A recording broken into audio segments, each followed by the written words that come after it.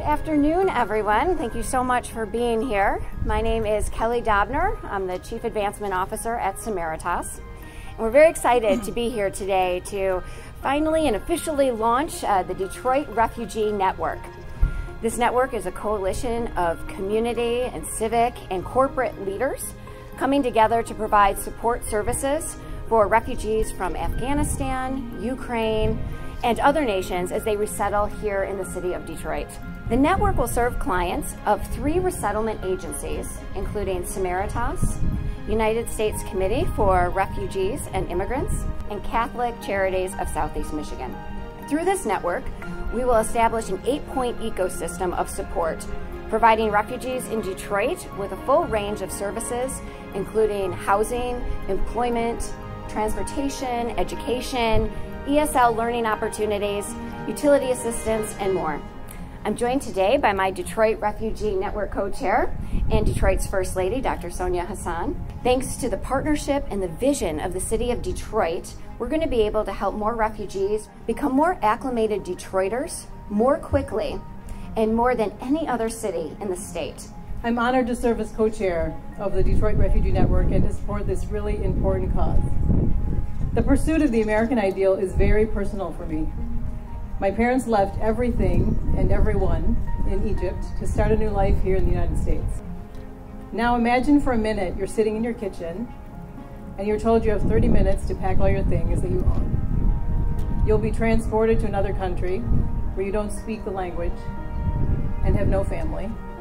And worst of all, you'll leave half your family behind.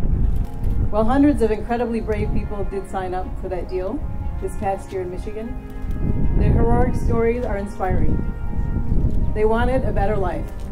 Well, last week, Detroit became the first city in Michigan to be certified welcoming by Welcoming America. Certified Welcoming is a formal designation for cities and counties that have created and executed policies and programs that reflect their values and commitment to immigrant inclusion from all countries. Detroit joins just 14 of other welcoming places in the U.S. I would like to thank all of our partners here today, and a special thank you to Samaritas for stepping forward to lead this network, as they have been providing services to generations of refugees in Michigan for many years. Now I'd like to introduce a special person who will share his experience of resettling in the city of Detroit. You will meet Saeed, Saeed is from Afghanistan. He started working with the U.S. Army in 2007 and eventually became a citizen and then returned to Afghanistan to continue working until August 25th of 2021 when the Taliban seized control. In Afghanistan, I work as a military translator interpreter for over 10 years. With the U.S. government, I work with multiple teams at different bases to help fight against terrorism uh, protect military and civilian life and support ongoing effort to restore democracy. I left Afghanistan when U.S. started withdraw uh, their forces. It was a very difficult decision but, uh, for me because I had to leave homeland, friends, family behind. When I left Afghanistan, me and my family were sent to Detroit, Michigan. At first we were worried, but then we started to hear uh, a lot of great things uh, were happening for refugees in the city.